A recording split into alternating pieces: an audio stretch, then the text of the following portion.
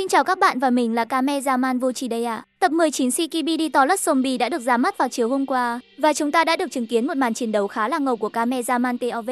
Hay như một số bạn nói là mình nên gọi anh ấy là Lucky tờ Lancer Kamezaman. Nhưng thấy hơi dài, mình sẽ gọi anh ấy là tờ Lanzer Lucky Man nhé. Ngoài màn chiến đấu đó của tờ Lanzer Lucky, thì chúng ta cũng được thấy bản thể của Astro khi có nguồn năng lượng X18. Vậy nên hãy cùng nhau phân tích chi tiết xem tờ Lanzer Lucky Man đã không còn chờ đợi người khác cứu như thế nào. Sức mạnh của Astro khi có lõi X18 mạnh mẽ ra sao. Và hơn hết là tại sao TV Man lại chia súng về phía tờ Lanzer Lucky Man. Trước khi vào video nhớ ủng hộ mình một like, một đăng ký kênh và nhấn thêm vào chuông thông báo nhé. Được rồi bắt đầu vào phân tích thôi nào. Let's go!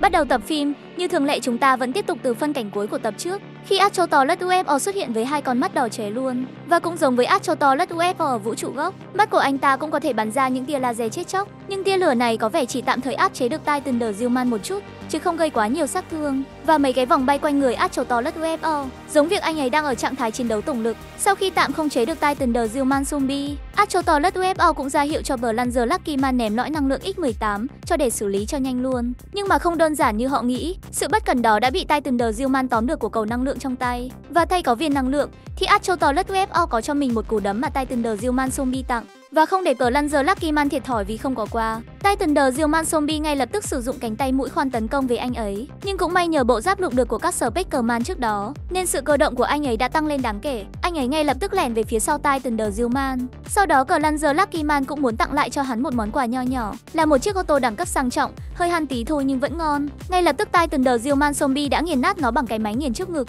Có vẻ như anh ta rất thích món quà này của cờ lăn giờ Lucky Man khi mà anh ta rú lên như kiểu à, Ta quá Pepsi ơi Cơ mà bị Astro UFO húc cho cái chẹo luôn cái xương sườn. Sau đó Astro Toilet đã nói với tờ Lancer Lucky Man, họ cần lên kế hoạch để cướp lại viên năng lượng trong tay của hắn ta. Và ở phân cảnh này chúng ta lại thấy nhân vật bí ẩn ở đây, và anh ta đang quan sát họ từ phía xa. Giờ đây dường như mọi thứ lại trở lại quỹ đạo ban đầu nên anh ta sẽ chỉ đứng quan sát tiếp. Sau khi bị húc chẹo cái xương sườn, thì Titan The Zombie đã khá là bực. Hắn ta bắt đầu tấn công Astro Toilet, nhưng với vũ khí tầm xa và tốc độ siêu nhanh của mình anh ta dễ dàng né được các đòn tấn công cận chiến của hắn. Nhận thấy khó tấn công Astro Toilet, Titan The Zombie lại đổi mục tiêu sang tờ Lancer Lucky Man. Nhưng giờ đây anh ấy đã không còn yếu đuối như trước nữa rồi. Anh ấy né được đòn tấn công và bắt đầu leo lên người Titan The Đồng thời sử dụng rất nhiều cây thông bồn gây nổ gắn lên người hắn. Anh ấy vừa chạy vừa né những đòn tấn công vô cùng linh hoạt và hoàn thành đòn tấn công rất mượt, còn không quên tặng cho hắn hai ngón tay yêu thương. Sau khi những cây thông bồn đồng loạt phát nổ, thì viên đá năng lượng cũng bị văng ra. Ở đây chúng ta cũng thấy vết rách không gian, có vẻ như người bí ẩn đã rời khỏi nơi này, có lẽ là bận đi cứu người khác ở một vũ trụ nào đó khác. Và sau khi nhận thấy viên đá cạnh mình,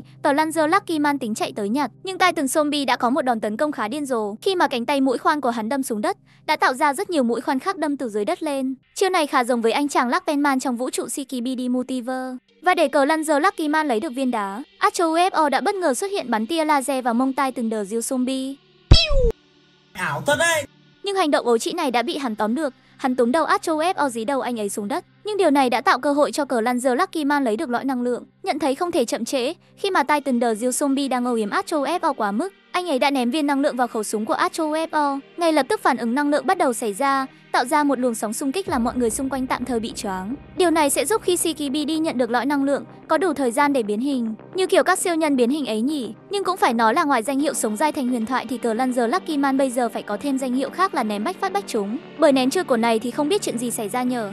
Sau khi có năng lượng X18, có thể thấy bản thể biến hình của Astro Fo khá là giống với bản thể của Giman Toilet, nhưng hình thái chiến đấu thì khác rất nhiều, khi mà ngay lập tức các móng vuốt được kích hoạt thay vì nắm đấm như của Giman. Thậm chí anh ấy còn có thể biến ra một chiếc búa phản lực. Cây búa này cũng hơi hơi giống của tai Titan Kamezaman đó chứ, nhưng nhỏ hơn chút. Thế nhưng không thể xem thường sức mạnh của cây búa này, khi mà chỉ cần một cú đã khiến tai Titan The Man Zombie quay ba vòng. Đặc biệt hơn là con mắt laser thay vì bắn ra một tia laser theo đường thẳng, thì giờ đây nó đi theo một quỹ đạo khá là lòng vòng, nhưng đích đến thì vẫn rất chuẩn. Mặc dù quỹ đạo hơi lòng vòng như vậy, nhưng điều này sẽ làm kẻ địch khó định hướng được đòn tấn công này và làm chúng khó né hơn rất nhiều. Có thể nói là đây là phiên bản Superman có hơi lé một chút. Nhờ có được loại năng lượng X18, sức mạnh của Astro UFO khác ngay thật. Chỉ cần chưa tới 20 giây đã đánh cho Titan The Zillman Zombie thoi thóp. Nhưng điều bất ngờ đã xảy ra khi một làn khói xuất đen xuất hiện. Ban đầu mình đã nghĩ tên tiến sĩ Shikibidi xuất hiện ở đây cơ, nhưng không đó là TV Man đã cũng tới đây với một camera man, một cờ lóc man báo thức và anh chàng Shikibidi hỏi, người bạn đồng hành của cờ Lancer Lucky Man. Titan The Man sau khi nhận thấy cơ hội bỏ chạy, hắn cũng ngay lập tức chui xuống lòng đất để chạy trốn khỏi đây. Có lẽ hắn sẽ trở lại với sức mạnh khác để phục thù Astro FO, nhưng có vẻ Astro FO không quan tâm nhiều về hắn,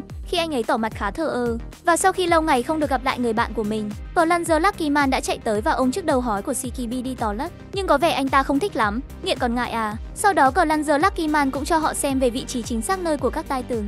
Nhưng sau khi TV Man xem xong hắn bất ngờ giơ súng chĩa về phía cờ lăn Lucky Man. Điều này khá là bất ngờ đúng không? Nhưng hay bình tĩnh, có vẻ như đây là một trò đùa để trả đũa anh ấy trong lần trước đó. Khi TV Man xuất hiện và cũng cho cờ lăn Lucky Man xem nơi của các tai tường. Và anh ấy đã chĩa súng về TV Man, nên có vẻ như đây là lần trả đũa của anh ấy cho Plunger Lucky Man. Chứ mình nghĩ Astro UFO đang đứng trước mặt họ như kia, mà họ tính manh động gì thì không khác gì lựa chọn cái chết tới với mình cả. Nên có lẽ mọi thứ chỉ là một trò đùa mà thôi. Và rất có thể TV Man sẽ đưa họ tới nơi của các Titan trong tập tới. Mình nghĩ tập tới chúng ta sẽ thấy lại nơi của các Titan bị nhốt. Và với sức mạnh của Astro Toilet, họ sẽ tìm cách để cứu họ ra khỏi khu mỏ từ trường đó. Tổng kết lại tập này thì mọi thứ không có quá nhiều điều đặc biệt. Ngoài những nhân vật thể hiện sức mạnh của họ, Vlanger Lucky Man giờ đây đã có thể tự bảo vệ mình khỏi nguy hiểm. Hơn nữa anh ấy cũng có thêm cho mình danh hiệu mới ngoài danh hiệu sống dai của mình là ném bách phát bách chúng. Chúng ta cũng thấy được bản thể sau khi có lõi nâng cấp của Astro Toilet như thế nào. Mặc dù chưa được phô diễn hoàn toàn, nhưng có lẽ trong tập tới anh ấy sẽ cho chúng ta thấy anh ấy làm được những gì với lõi năng lượng đó. Ngoài ra các bạn có nghĩ rằng hành động của TV Man là một trò đùa, hay anh ta tính làm điều gì mờ ám hay không?